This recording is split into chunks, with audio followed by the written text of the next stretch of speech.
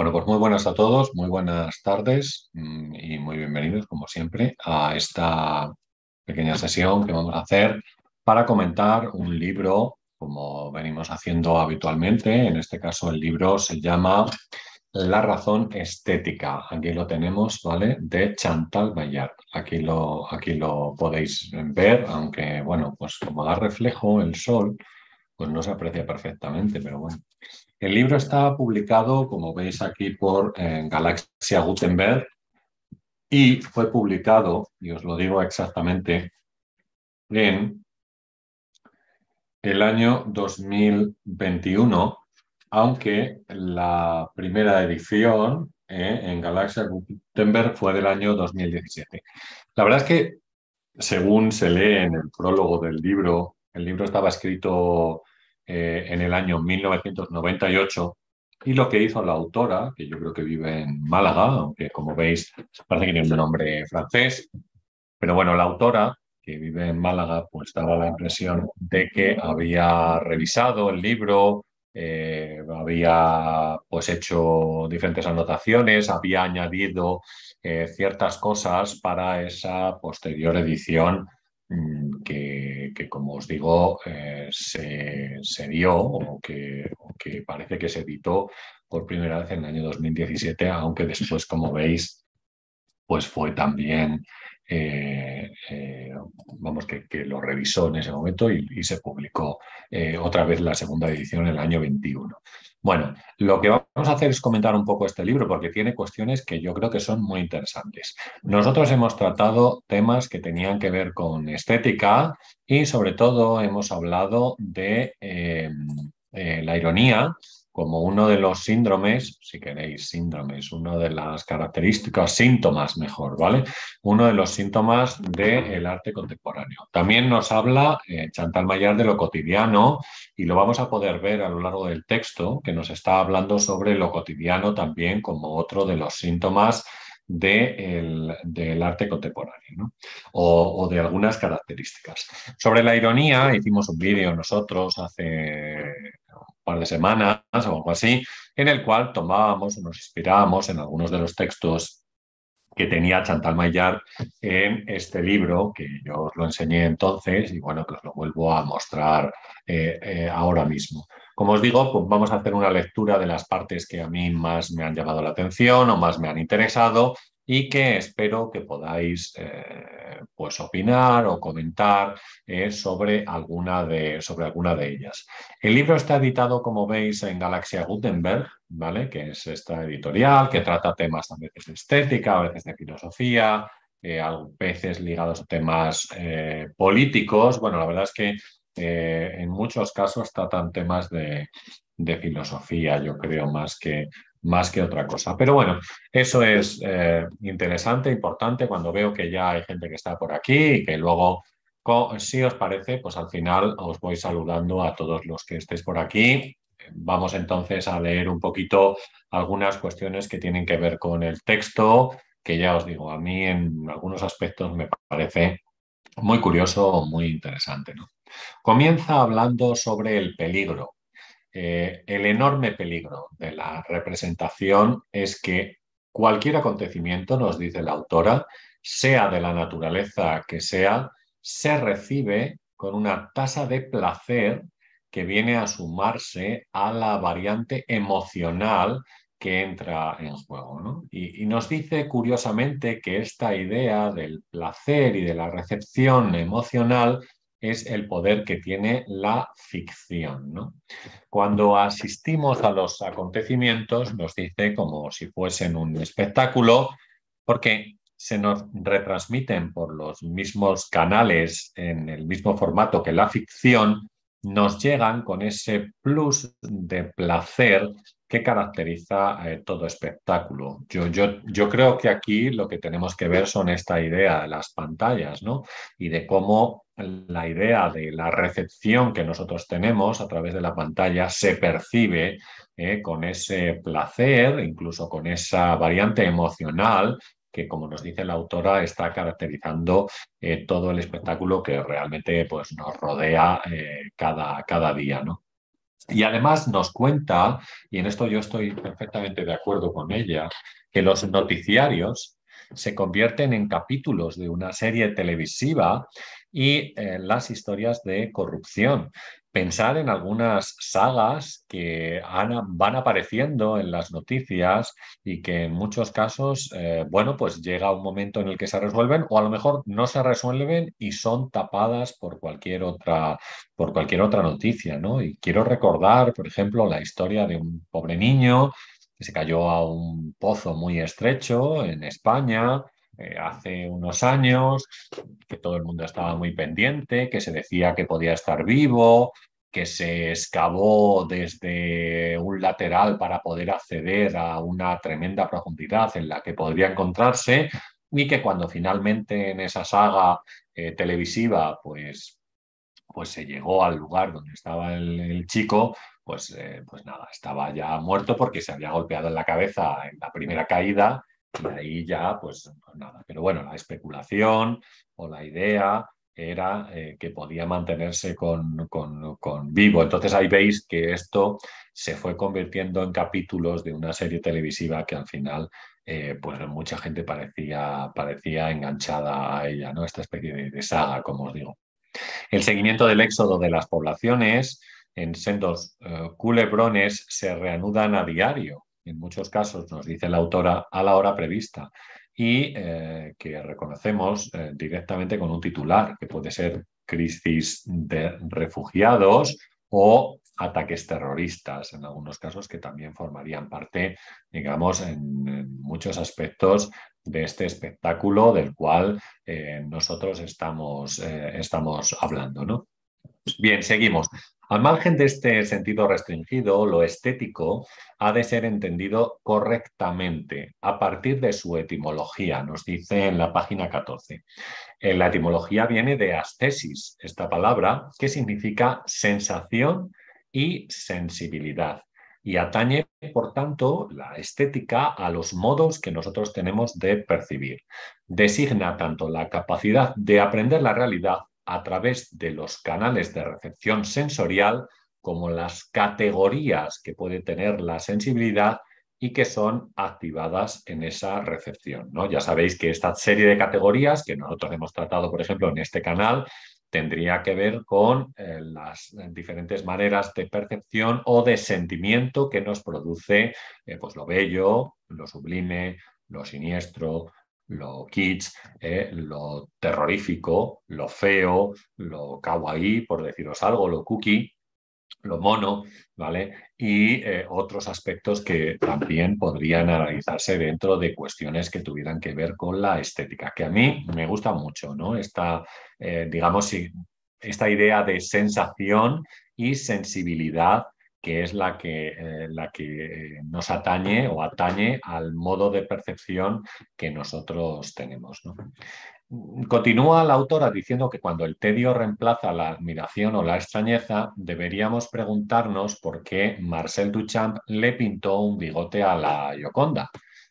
En realidad no se lo ponía a la Gioconda, sino que se lo ponía al modo cultural que tenemos de ver la Gioconda. ¿no? O sea, se lo pone a un objeto valioso, en este caso a este cuadro. ¿no? Y el bigote que llevaba la Gioconda escandalizó a aquellos que no veían eh, la Gioconda, aquellos que, que, oficiaban la misa mientras bostezaban a escondidas, nos dice la autora.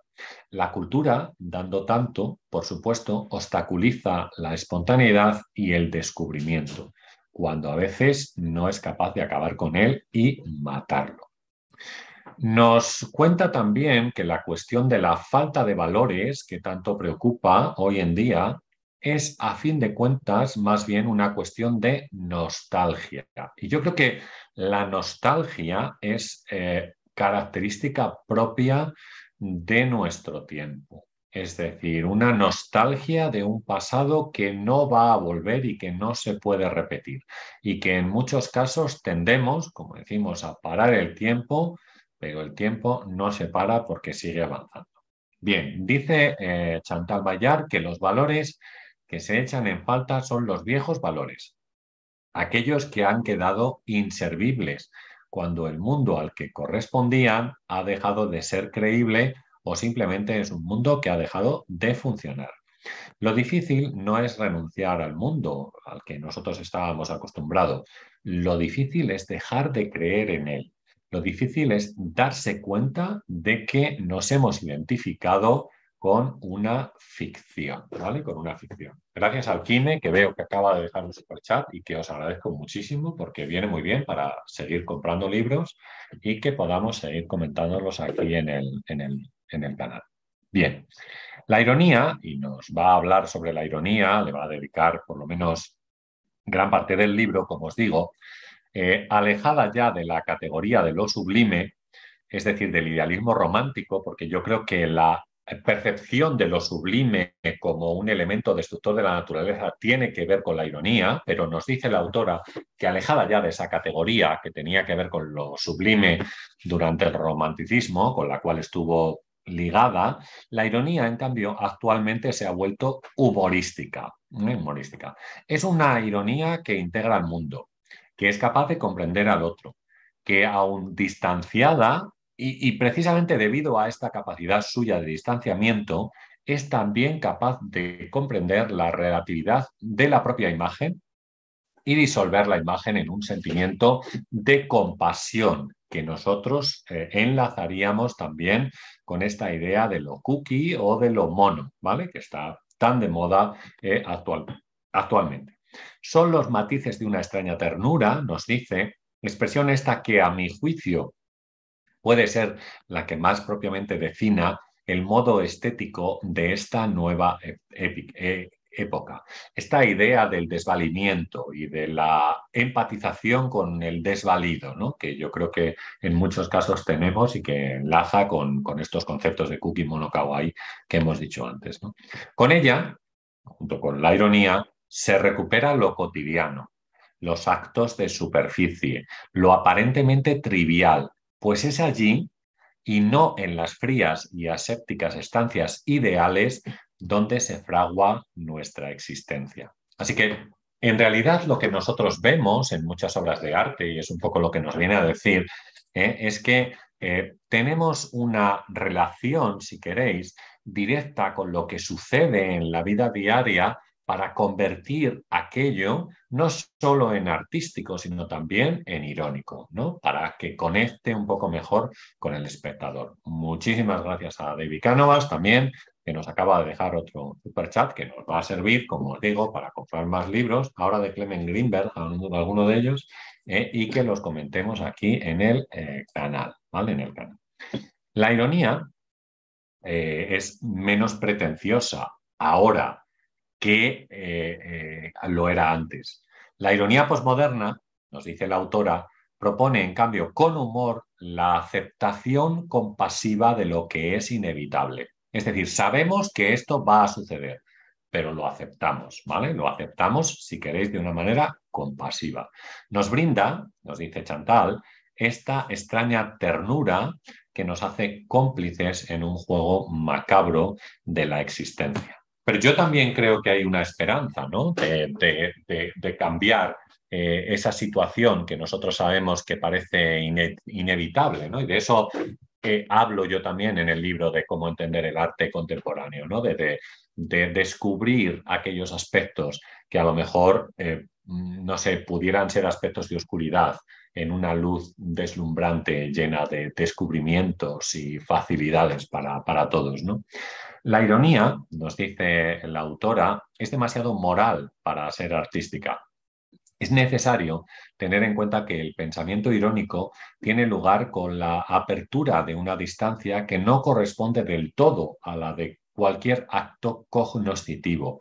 Se trata de una distancia estética, en primer lugar, porque permite, y este es otro elemento importante que introduce, la simulación lúdica, es decir, del juego. ¿no? En segundo lugar, porque permite a la conciencia convertirse en espectador de los sentimientos y en tercer lugar, porque estos sentimientos, al convertirse en objeto de representación, se manifiestan con un tipo especial de placer, es decir, el placer de la representación.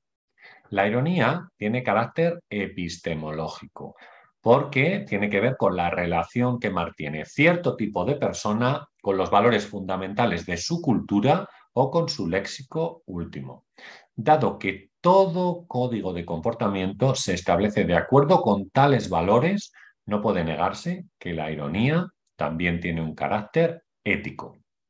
El último reducto continúa, hablando sobre la ironía, el último reducto del hombre irónico Aquello con lo cual no puede dejar de identificarse es esa misma capacidad de reírse de sí mismo, de reírnos nosotros, de nosotros mismos.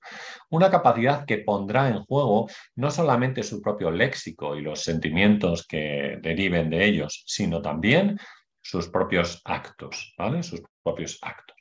Probablemente el signo de la posmodernidad sea esa sensación de que la verdad se ha vuelto indigesta. Nos pesa la certeza de las leyes, las previsibles conclusiones de los experimentos. Los estilos puros nos cansan. Eso es lo que nos dice en la página 49, como os digo, ¿eh? continúa hablando sobre la ironía. Así pues, una razón estética, que es el título del, libro, no será una razón debilitada, sino una razón creadora, ética e irónica. La razón estética estará abierta al mundo, abierta al mundo que, que se ha entendido como caos, como ámbito de las posibilidades y constituyéndose en un instrumento para la aplicación de la ley del azar, es decir, de la ley de la posibilidad, de lo que pueda ser o incluso, yo diría, yo añadiría incluso de la capacidad de decisión o del posicionamiento que tenga eh, cualquier persona ante la obra de arte. Esta razón metafórica escogerá la ironía como forma de expresión de la nueva condición de la realidad, pues la ironía es el baluarte contra la formación de verdades eh, para ser creídas. La ironía suele entenderse como una de las modalidades del humor, pero en realidad es bien distinta a ella. La ironía y el humor tienen en común el ser un juego de la inteligencia, en la que se desbarata el orden lógico para construir, mediante la yuxtaposición o mediante la conexión o asimilación, un puente entre dos realidades o entre dos ámbitos. ¿no? Yo creo que la ironía forma parte de la obra de arte en muchos casos, sabéis, porque no es cuestión de que sea una gracia fácil o una risa fácil o una risa provocada por un chiste o algo así, sino que en realidad es una ironía que incluye una reflexión, ¿no? que como nos dice aquí, eh, desbarata el orden lógico para construir eh, algo que, eh, un puente que existe entre dos realidades, la realidad artística y la realidad del espectador que la está percibiendo y que una vez que ha, digamos, recibido esa información, una vez que tiene esa información, eh, es capaz de manejarla de manera que le pueda aportar eh, pues, pues algo a su propia vida o a su capacidad de raciocinio o entendimiento. Bien, continúa diciendo eh, Chantal Maillard que la ironía es simulación. Y nos pone un ejemplo que yo lo cité en el vídeo y es que ya eh, era una simulación en la ironía eh, de Sócrates. Sócrates sabéis que fingía que no sabía nada con el fin de hacer hablar a quienes creían saber, aquellos que pensaban que sabían demasiado, pero carecía de sutileza, nos dice la, autora. ¿no? Pues eh, Sócrates, imaginarlo, ya sabéis, con su método peripatético, preguntando a, a todos aquellos que creían saber acerca de diferentes cuestiones para hacerles llegar a una conclusión de que quizás o bien no sabían suficiente o bien estaban equivocados en los planteamientos acerca de los temas que se habían planteado, la belleza, la verdad, la justicia o lo que fuera. ¿no? Bueno, nos dice también que la ironía romántica no es solo sentimiento, es el órgano de equilibrio que permite al poeta fundir, unir la vida eh, exterior con la interior la experiencia directa o la fantasía. Nos dice que la ironía es la capacidad de duda aplicada a cualquier interpretación del mundo. Una capacidad, por tanto, de distanciamiento de las propias creencias, ya provengan estas creencias del exterior o del propio eh, interior. La sonrisa será un síntoma de la ironía, ¿no? Y es al mismo tiempo un reconocimiento inteligente de la simulación, reconocimiento también de las posibilidades interpretativas que el ironista nos está brindando o nos brinda. Y finalmente será un respetuoso reconocimiento de la dignidad de aquel que haciendo uso de sus facultades creativas en circunstancias extremas se muestra en posesión de una libertad interior de la que solemos eh, carecer en circunstancias normales. Así que yo creo que estáis viendo ¿no? cómo la ironía influye eh, tremendamente en cuestiones o en planteamientos estéticos que tienen que ver con el arte más eh, actual en muchos, en muchos casos. ¿no? Bueno, deja el apartado de la ironía y se centra más en cuestiones que tienen que ver, como vamos a ver, con otros planteamientos. ¿no? Nos dice que el arte transforma la realidad construyéndola y lo hace para alguien. Es decir, la obra es un ser activo que no está para decorar, sino que está para construir como veis aquí, y para construir para alguien, que es lo que nos dice la autora. ¿no? Solamente el espectador podrá lograr por completo en la contemplación los beneficios del juego, porque solo él, solo el espectador, está en posición de adquirir la comprensión que éste brinda al desarrollarse ante sus ojos.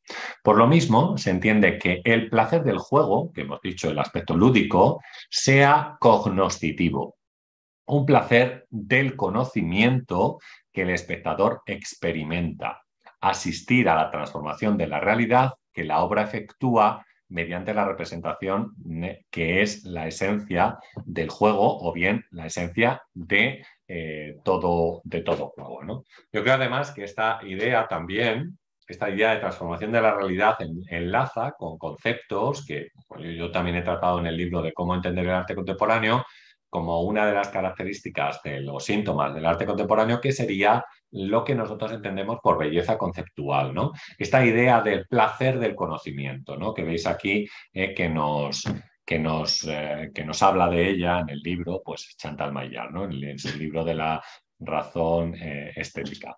Se podría formular, continúa, una ecuación bien simple. A la actividad le corresponde la utilidad, lo lleno, el ruido. A la inactividad, en cambio, le pertenecen la inutilidad del vacío, el silencio. Tres aspectos que corresponden, según todos los patrones, a la negación de la existencia y que, por tanto, la inactividad, en este caso, produce miedo. La forma que hoy tenemos o la idea que nosotros tenemos, la manera de entender el caos, no corresponde, nos dice la autora, con la acepción original del término, sino que es fruto de una falsa derivación del verbo eh, que traducido eh, sería el verbo verter o el verbo derramar y que se utilizó, eh, esta desviación se produce en el siglo II después de Cristo, refiriéndose a una masa confusa de alimentos ¿eh? de alimentos esparcidos ¿eh? que se han derramado en el espacio. ¿eh? En el espacio. Originalmente la palabra caos no significa desorden, sino que significa abertura, abismo. El caos era la inmensa abertura tenebrosa que existía en el origen, antes de que aparecieran las cosas.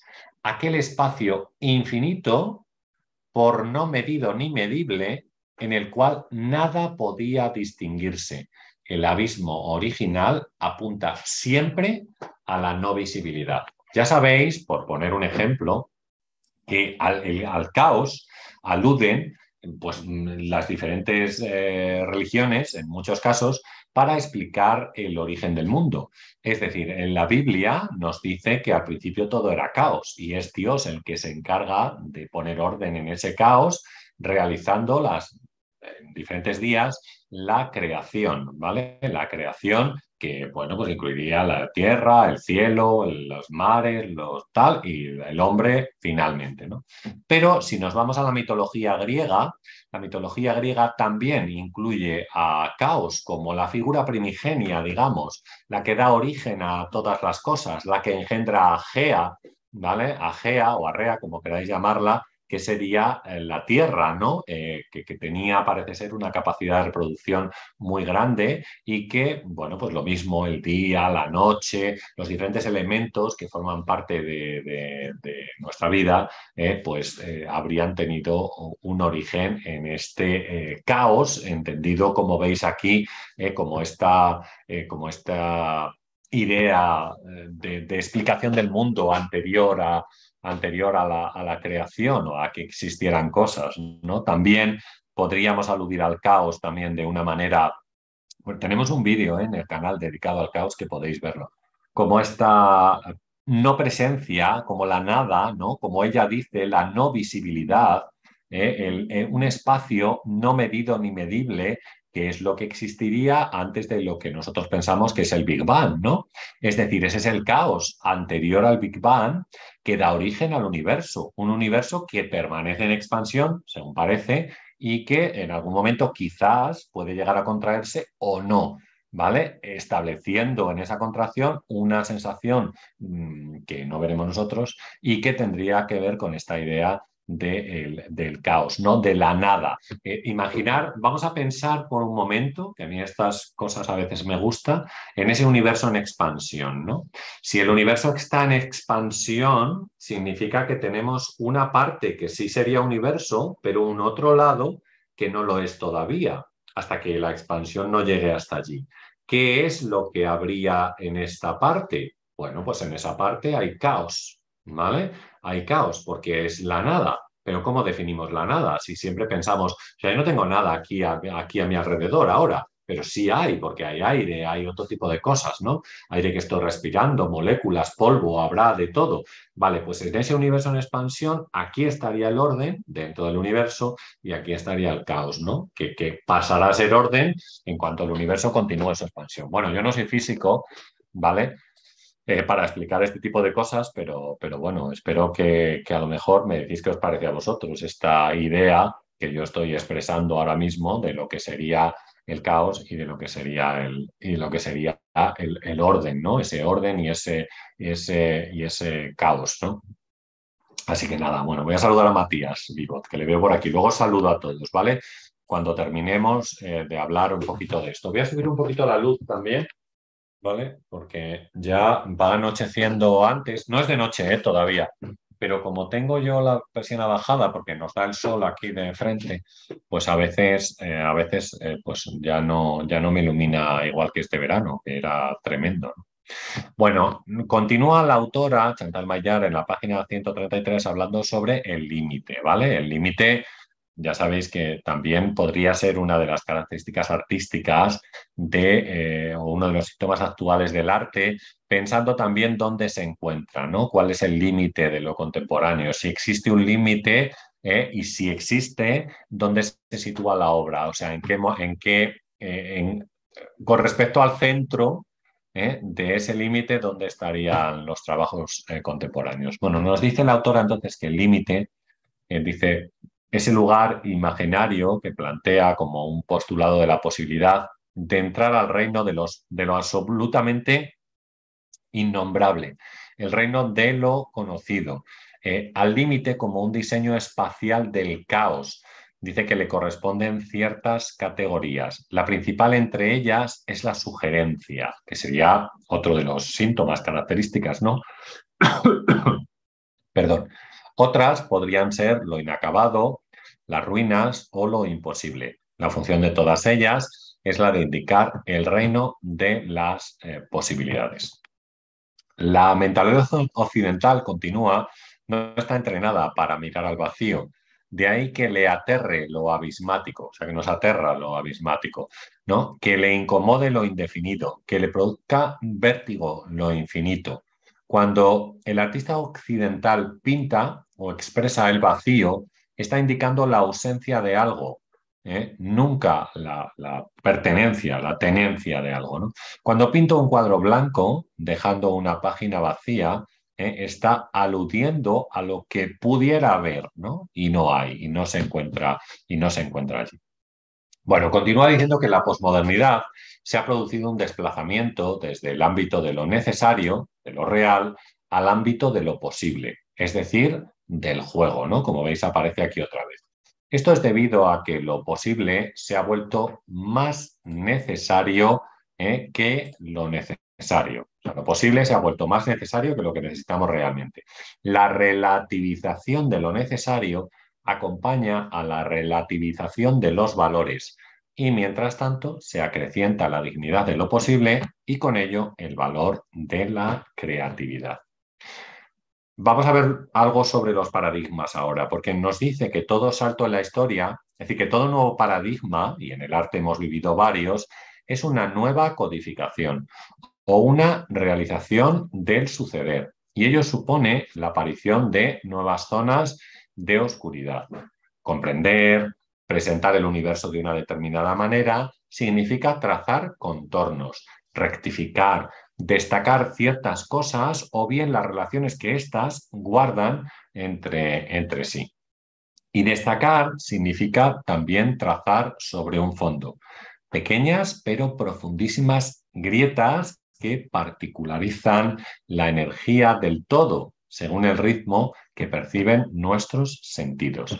Las líneas son los instrumentos con los que la razón adapta el mundo a la, a la precisión de su sistema definitorio, es decir, un poco a las ideas que nosotros manejamos en la actualidad. Por eso los cambios de paradigma son importantes, porque no se piensa igual ahora mismo que hace 20 años, ni que hace 30, ni que hace 50. Por supuesto que hay un avance, hemos cambiado y a veces el arte, como decimos, se adapta también a estos, a estos cambios. Nos dice eh, Chantal Maillard que dos son los elementos principales que definen la posmodernidad. El primero de ellos es la ironía, es decir, la ironía posmoderna se tiñe, como hemos comentado, de una cierta ternura que la vuelve menos hiriente y más estética. Para ello, para ser menos hiriente, más estética, recibe la ayuda del segundo elemento, que sería la intervención de lo cotidiano. Es decir, el suceso intempestivo, pero que sabemos que puede pasar. Un suceso aparentemente trivial, el gesto o la palabra intrascendente, es decir, los ruidos de la superficie. Se trata, dice la autora, de infiltrar los leves y efímeros trazos que tiene lo cotidiano en el riguroso espesor de aquel mundo heredado.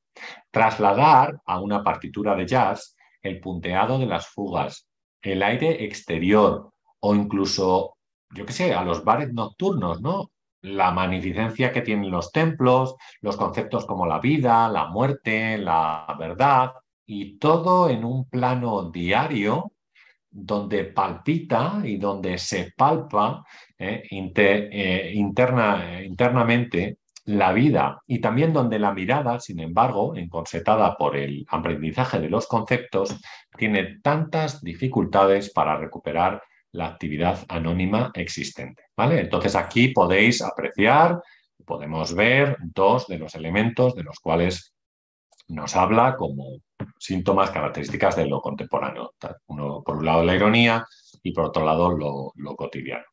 Lo que llamamos la razón estética, que es un poco la finalidad del libro, consiste en lograr que nada coagule en conceptos.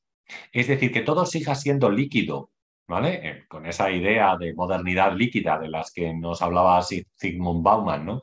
La palabra que, que no pierda su ritmo ni su resonancia, que eh, todo sea una sugerencia, que, que, la sugerencia se convierta en un don, ¿no?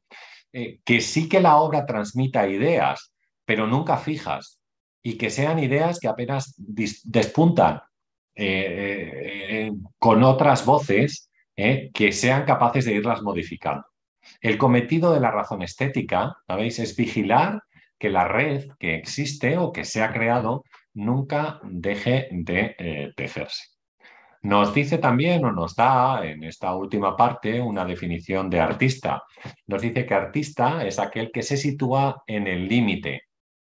Es decir, ahí donde la visión del ensamblaje es posible, Artista es aquel que es capaz de percibir la simultaneidad de lo que ocurre. Ser artista es ver configurarse el mundo, el mundo como objeto estético. El valor estético de un objeto es exterior al objeto en sí mismo. No hay objeto estético en sí, Lo estético de un objeto depende de la mirada y esta es independiente de la condición natural o artificial del objeto considerado. Cualquier objeto puede convertirse en un objeto estético si la actitud que tiene ese objeto es estética. Bueno, pues así termina un poco las notas que yo he ido tomando. Eh, eh, pues eh, esta última se encontraba en la página 227, aunque el libro continúa algo más, pero no vi yo que hubiera algo más reseñable respecto a estos aspectos. Ya os digo que el libro sí me ha gustado, que no me ha, no me ha disgustado, que lo he leído con, con ganas y con pasión que me ha servido también para ratificar un poco acerca, acerca de estos puntos que tienen que ver eh, con lo lúdico, del cual nos habla, con lo irónico y con lo cotidiano, como síntomas, eh, como veis, de lo contemporáneo, y cómo en muchos casos eh, se hace una perfecta definición de cada uno de ellos de lo que es la ironía, en concreto, y de cómo aceptar la ironía respecto a, respecto a, digamos, las obras o algunos de los tratamientos que nosotros podemos tener delante. Recordar que la ironía no es que me parto de risa delante de lo que tengo, sino que es una sonrisa que quizás me ayuda a crear un puente, como decía el libro, entre la obra, entre lo que el artista ha tratado de transmitirme y lo que yo eh, soy capaz de percibir eh, respecto, a ese, respecto a ese trabajo. ¿no? Bueno, pues voy a saludar un poco a la gente que estaba por aquí y que ahora mismo tenemos unas 15 personas, pero bueno, yo espero que lo vean más. Eh, mm, también debo deciros que vamos a empezar este curso de estética contemporánea el próximo domingo. ¿eh? el esquema ya lo expliqué el otro día. Va a ser primero hacer una presentación de bibliografía, en segundo lugar, tenemos el desarrollo del tema que vamos a tratar con un PowerPoint con diferentes fotografías para ilustrarlo. Y en tercer lugar, pues tenemos una pequeña charla. Aquí vemos, eh, eso es, saludo a la gente, contestamos alguna pregunta eh, o, lo que sea. Ese es un poco el esquema que nosotros vamos a seguir eh, el próximo domingo que iniciamos nuestra, nuestro curso de estética contemporánea con el tema del tiempo al cual le tenemos que dedicar dos sesiones, ¿vale? Porque si no, se nos va a hacer muy largo. Y yo tenía una, tengo una charla del tiempo aproximadamente de una hora, pero, pero bueno, lo vamos a dividir en dos. Hacemos media hora el primer día, aproximadamente veintitantos minutos, y después hacemos el segundo día un poquito más largo porque eh, ya hemos presentado la bibliografía el primero, entonces repasaremos un poco y eso hacemos. Y ya sabéis que tocamos otros temas como es la utopía, la globalización, la performance, la imagen y la exposición. Estos son los temas que van a componer este curso de eh, estética contemporánea y que yo espero realmente que pueda ser de vuestro interés y que, bueno, pues yo que sé, que me ayudéis de alguna manera a difundirlo también, ¿no? O a, que llegue a la mayor gente, a la mayor gente posible. Vamos a hacer un sorteo de libros también durante el curso ¿eh? y, bueno, pues, pues nada, a ver si somos capaces también de coger o de que haya alguna persona más que se haga miembro del canal ¿eh? y de esta manera pues podamos sostener un poco la actividad que, la actividad que tenemos. Bueno, como os digo, pues saludo al Kime88 que estaba por aquí, que siempre nos sigue. La verdad que se lo agradezco mucho, a Morillo Monil, que también estaba por aquí, Víctor de la Rosa, ¿eh? que también le vemos con sus característicos ositos. Hay Quintanar, que estaba también por aquí, que nos saludaba, ¿vale? Ah, y se saludaban entre, entre ellos, como veo, que eso es lo mejor que tenemos, la buena comunidad y el buen rollo que hay entre, entre, entre nosotros, ¿vale?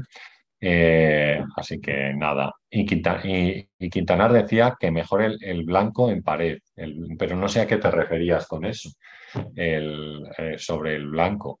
Pero bueno, a lo mejor un cuadro que hemos hablado de blanco sobre blanco tenía que ver con este de Malevich, es posible. Pero bueno, David Cánovas también nos saludaba a, todos, ¿vale? Eh, Cristian Alarcón, que nos dice que nos saluda desde Bolivia y que es la primera vez que me coge en vivo. Pues no sé qué hora es en Bolivia ahora. Estaría bien, estaría bien saberlo. No sé muy bien. Oye, Siri, ¿qué hora es en Bolivia ahora mismo? A ver si me, a ver si me lo dices, sí. Que lo sepa yo, que hora es Bolivia. Ah, en Sucre son las, es la, las dos menos cuarto, las dos menos cuarto, y aquí son las 8 menos cuarto. Bueno, pues nada, ¿no? Por saberlo también. normalmente yo suelo hacer los vídeos por la tarde porque así eh, pues la gente de América se puede, se puede incorporar y puede ver, aunque sea pronto, que no sé, en México será las 12 del mediodía aproximadamente o así también, supongo, pero bueno. Bueno, pues gracias por los superchats que habían dejado Alquime y, David Cánovas, ¿vale? Y nada, dice, eh, a ver, eh, eh, una persona elegible, dice, la gente hoy en día son un poquito nostálgicos. Yo creo que sí, que es que mm, la, o sea, fijaros que este verano dedicamos un vídeo que yo trabajé bastante en él al tema de la melancolía y es una cosa que, que, mm, que yo creo que tiene que ver mucho con la, con la nostalgia, ¿no? Sabéis además que Benjamin, que a mí me gusta mucho, pues es muy nostálgico. Yo creo que Benjamin es, eh, Benjamin es la nostalgia personificada, porque Benjamin es una persona que echa de menos un tiempo que ya no va a volver y que sabe perfectamente que con los avances que se están produciendo en el sistema, en la tecnología, en todo esto, es imposible que vuelva. Así que Benjamin es un nostálgico tremendo y quizás nosotros también somos bastante nostálgicos del pasado. es, no tenemos más que, que pensar en cuestiones retro y en cómo nos atraen estas cuestiones retro de hace 15 o 20 años. Pero esa nostalgia, yo creo, y a lo mejor eh, esto tiene que ver con el tema del tiempo que vamos a tratar el próximo día, tiene que ver también con un tiempo pasado que desde nuestro punto de vista fue mejor. Un tiempo que no se repite, es decir, que se nos ha escapado y tiene que ver con la inocencia y con la infancia, si queréis, en muchos casos, porque ese tiempo, esos olores, esos lugares, esas, eh, pues no sé, eh, escenas que tenemos grabadas en nuestra mente, en muchos casos hacen que, la nostalgia sea característica o sea algo típico de nuestro, de nuestro tiempo, ¿no? O sea que eso. Bueno, pues Matías Vivot nos eh, saludaba. R. Pasminio decía un gran abrazo desde Chile. Dice un abrazo, un agrado oír siempre los aportes que se puedan hacer sobre arte, pues estupendo y eh, para eso estamos aquí, aquí seguimos, ¿no? En principio vamos a seguir con nuestros libros, desgranando cuestiones, como te digo, avanzando. Yo creo que las charlas que vamos a tener a partir del próximo domingo, cada domingo, eh, pues van a ser muy enriquecedoras. La verdad es que he de deciros que cuesta un montón de trabajo prepararlas, eh, pero bueno, estoy contento y lo hago con eh, gusto, por eso también os, digo y os, no os pido ayuda, pero os digo que vamos a intentar llegar a la mayor gente posible, eh, porque, porque bueno, espero que merezcan la pena y que ese curso de estética contemporánea nos ayude a tener esa idea de que de que la estética no es solamente, como nos decía el libro, una percepción delante de la obra de arte, sino que tiene que ver con el influjo que la obra de arte también tiene en lo social, en lo político, en lo idiosincrásico y en otras cuestiones ¿no? que, que afectan también o que tienen que ver con nuestra sociedad. Bueno, decía Matías Bebot que el universo en expansión no quiere decir que haya un no universo todavía.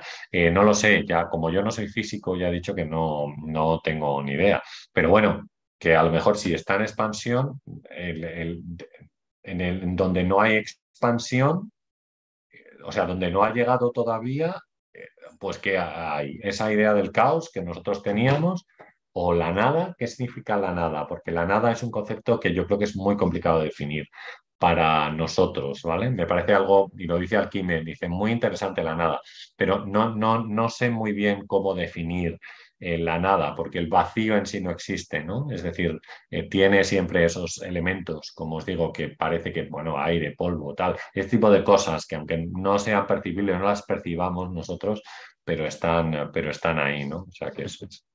Bueno, Monillo Monil que saludaba y nos decía que le dierais al like. Venga, pues los que no le han dado al like, ya sabéis que no cuesta, que no cuesta nada.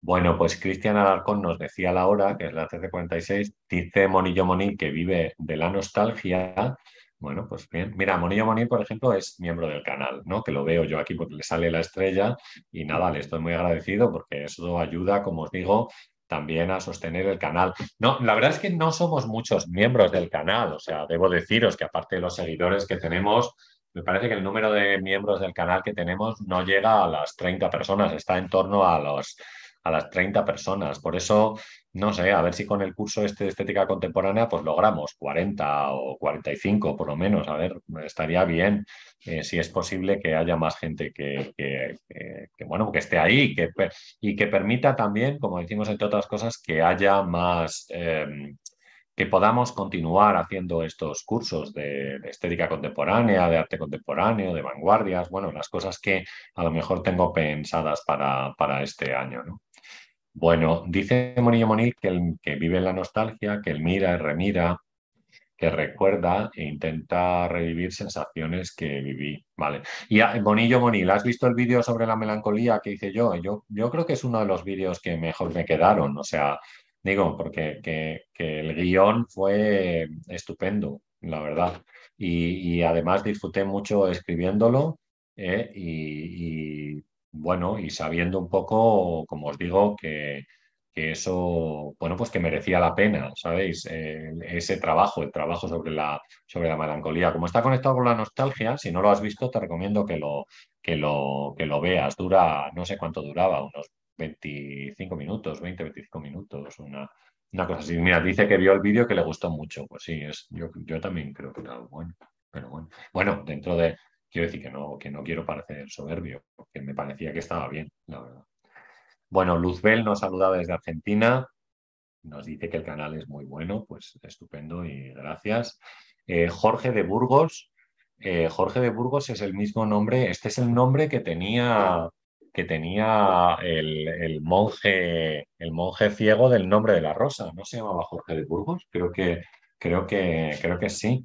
¿Eh? Pero, pero bueno, nada, es, no es, no es eh, ni ofensivo ni nada, eso es lo que me ha recordado este tema. ¿eh? Pero bueno. Dice, necesitas ofrecer recompensas para que la gente se una al canal. Bueno, Jorge, yo tengo varias recompensas allí. Por ejemplo, si te haces miembro del canal y eres nivel oro, te mando el libro de Amazon que quieras. Y si te haces nivel platino, te mando el libro de estética del viaje firmado. Eh, o sea, quiero decirte que claro que hay recompensas. Hay, hay como tres niveles. Un nivel de dos euros. Que bueno, pues nada, hay gente que, eh, que tú no eres miembro del canal, pero hay gente que es miembro del canal y puede decirlo. Los miembros del canal ven algunos de los vídeos, no todos, pero algunos vídeos los ven antes de que salgan. Eh, si salen para todo el público el lunes, pues los ven el domingo o el sábado, muy posiblemente. Y luego los que son de nivel oro, que ponen 5 euros al mes, me parece, tienen un libro. Cuando lleven dos meses, le mando un libro. Y los que son de nivel platino, le mando Estética del Viaje, que es un libro que vale más dinero que los libros de Amazon. Quiero decir que lo he tenido que pagar yo también. Así que quiero decir que me cuesta a mí un dinero. Así que, bueno, quiero decir que claro que hay recompensas. No solamente el poner stickers aquí de colores, que ya os los da el propio, lo da el propio YouTube, sino que claro que hay recompensas, sí, sí las hay. Eh, creo, vamos, no sé. ¿Pueden ser mejores? Indudablemente sí, habría que pensarlo, pero, pero bueno, pero que a verlas las Una pregunta, Rafa, dice Ludwell. En uno de tus primeros vídeos hablas sobre un fotógrafo que aborda el horror a través de la cotidianidad. Me ayudaría a recordar el nombre porque no lo encuentro. Mm, pero podía ser, podía ser este Mm, ¿Podría ser Charlie White? ¿Podría ser Charlie White este? Quizás. Em, sí, también hay otro que es eh, Billy, ¿cómo se llama este? Ay, eh, no me sale ahora el nombre.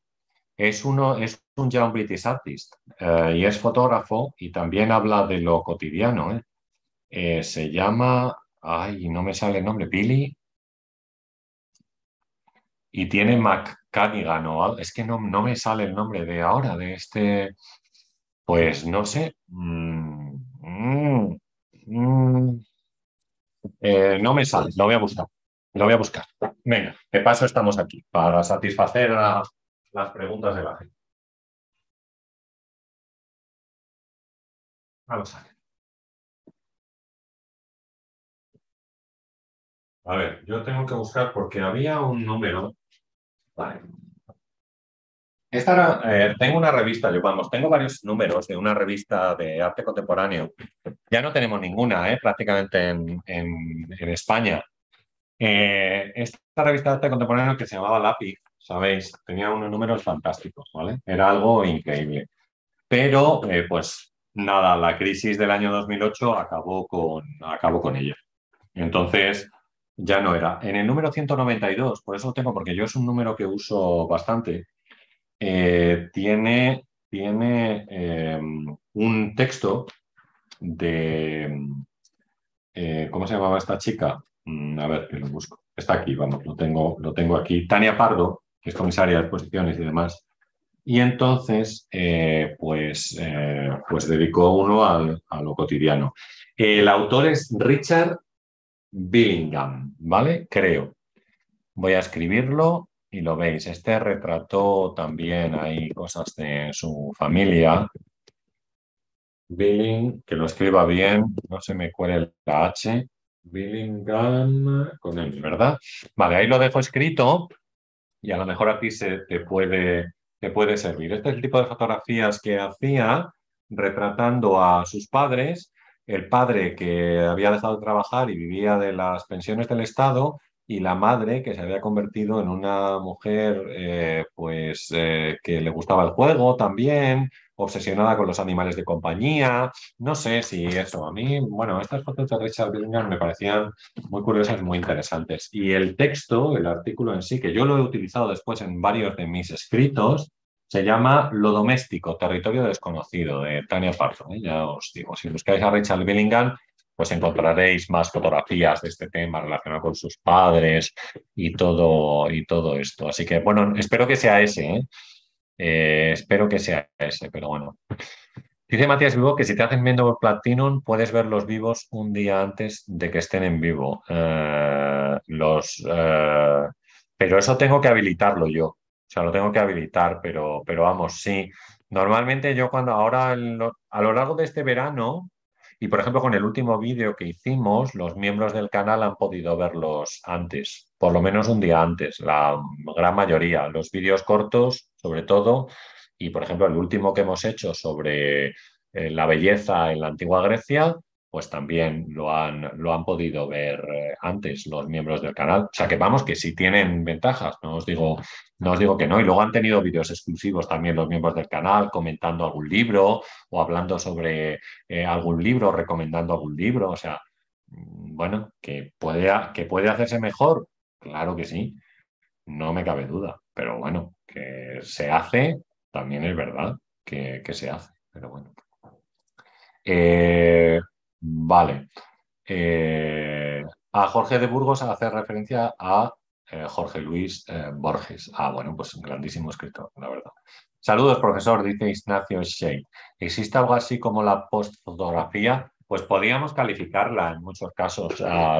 muchas de las imágenes eh, que nosotros tenemos desde que han irrumpido las redes sociales, yo lo llamaría por fotografía. Este es un término que utilizó también eh, Joan Focuberta en el libro de la furia de las imágenes, utiliza este término de postfotografía y yo creo que es muy aplicable en muchos casos a un tipo de fotografía en la cual no se cuidan los detalles, no se respeta la regla de los tercios, no se respeta la regla del paisaje, no se respetan los brillos, que ya sabéis que el sol o cualquier luz en una fotografía es nuestro enemigo. Entonces, en muchos casos los selfies que están tomados o esa típica fotografía que se toma en el ascensor, en el espejo del ascensor, bajando para que la gente, para luego ponerla en las redes sociales y que vean que está saliendo por, está saliendo por ahí, pues tendría que ver con esa idea de la posfotografía, ¿no? Donde, donde, como os digo, no se cuidan aquellos detalles básicos que pues, conoce la mayoría de la gente, ¿no? Y que, pues eso, tienen que ver con la regla de los tercios, ¿eh? con, la distribución de los colores, con como yo les decía a mis alumnos a veces cuando yo enseñaba, teníamos una clase de introducción a la fotografía, y era que antes de presionar el botón, bien fuera del teléfono móvil o de la cámara, que miraran un segundo a ver si todo lo que ellos querían representar estaba en su sitio. Pues el balance de las personas o de los objetos que, que aparecen, ¿no? De no cortar a las personas, de no cortar un coche que está en la calle si es lo que quiero, si es lo que quiero representar. Este tipo de cosas yo creo que tienen que ver el poco cuidado, en este caso, la democratización de la fotografía ha llevado a que muchas personas que no, no tienen por qué ser profesionales, pero que personas que no saben del tema pues se dediquen a ello y ello pues nos ha traído en muchos casos pues estas cosas que os digo, este no respeto de una especie de pequeñas reglas que pudiera haber para que la fotografía fuera más agradable o más bonita eh, a, los, a los ojos. O sea que sí, ese término existe, por supuesto que sí. Y con la erupción de las redes sociales, como os digo, 100 veces más, porque cualquiera es capaz de tomar una fotografía Cualquiera que no ha manejado una cámara en su vida, que no sabe nada de ello, pero, pero bueno, ¿qué vamos a hacer? Es así. Bueno, si os parece lo dejamos aquí, que veo que no hay ningún comentario más y ya os he saludado yo creo a todos. Entonces, eh, nos vemos el próximo domingo, si os apetece. Eh, pues eh, si podéis darle difusión al curso que vamos a hacer pues estupendo, cuanta más gente estemos, ¿no? cuanta más gente lo vea, yo creo que mejor. ¿Eh? y, poco más. Venga, pues eh, si os apetece, eh, nos vemos el domingo. Tenía preparado yo una... Dice Ludwig que no es Richard Billingham. estiliza sus imágenes. Las fotos de una mujer sentada viendo la tele. Mm, una mujer sentada viendo la tele. Pero puede ser Erwin Olaf. Pero puede ser Erwin Olaf. Mira a ver si es Erwin Olaf, Luzbel. Busca Erwin Olaf, te lo escribo aquí.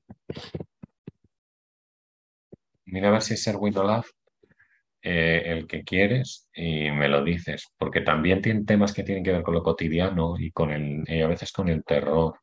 O sea que, que eso es, ¿no?